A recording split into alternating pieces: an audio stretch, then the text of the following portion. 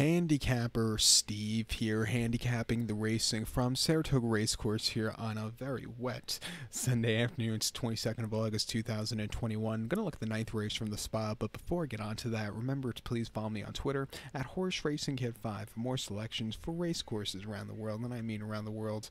Um, good racing today in France at Deauville, so remember to go check out my uh, preview for the race. But uh, let's look at the ninth race from Saratoga, which is Summer Colony Stakes. It's going for a purse of $120,000. Race fillies, mares, four year olds, and upwards. We have a field of six horses going one lap around the Saratoga main track, which is 1,800 meters in circumference, with a distance of ground of a mile and one eighth on the Saratoga main track, 1,800 meters, a mile and eighth here in the summer colony my top selection, we're going to go take the number two horse here, Horologist. We'll go 2463 in the Superfecta, 2463 Super. Top selection of two horse Horologist. This uh, five year old mare by Gemologist.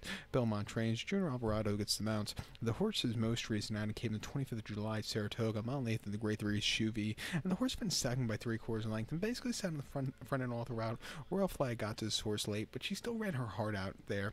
Coming here, a lot lesser quality horse is back to a mile eighth, which I think is her preferred trip of ground, I think she really run a good race. Speed from the inside does wonders in these mile and eighth races, so I think she has the advantage. Two back she ran the Lady Jacqueline at Thistle, mile and eighth, 26th of June, and he and she finished fifth by eight and three quarter lengths there, and she stalked and just had nothing. Also, just had a little bit of a horrible trip there, and then prior to that, in the duPont Distaff or in the Allaire duPont Distaff at Pimlico, mile and eighth, 14th of May, the horse finished fourth by four and a half lengths there, and uh, you know was just wide and just never really showed up there. Didn't like the Pimlico track, but before that, Aqueduct in the top flight, winning by a length, where she had basically a very easy starting position. When she got the lead, she was drifting late, but that was because I don't think she was 100% fresh. But she still got the job done. A very good run there. Definitely improving off her Breeders' Cup Distaff race, where she finished ninth by 10 and a quarter lengths, never really showing up there. But before that, she won the Beldame very, very nicely, where she saw a very quick pace that was a benefit for her there.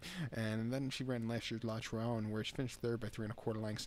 And uh, she, she ran a good race there, but she wasn't going to keep uh, uh, beat Monomoy Girl there. But coming here today, of some decent races as a raceland. Two to one, I like her a lot. Don't throw out the four horse here, uh, gibberish after for Tyler Gaffalione. Um, ran a very good race in the Del Cap uh, a few weeks ago at um, Delaware, and uh, before that, some of the races last season weren't bad at all. It's been on the up and up, and I think this is really a good kind of a race for this horse to see can she go to that next level, whenever the next level is going to be against these horses. Seven to two, training well, Monmouth. Let's use her on the multis. But to recount my selection for the ninth from Saratoga, it's the Summer Colony. Let's take the two horse horologist. Give kudos to the four horse gibberish. Two four six three super. Two four in your multi race. So good luck to all. Please follow me on Twitter at Horse Racing Kid Five. Good luck, everybody.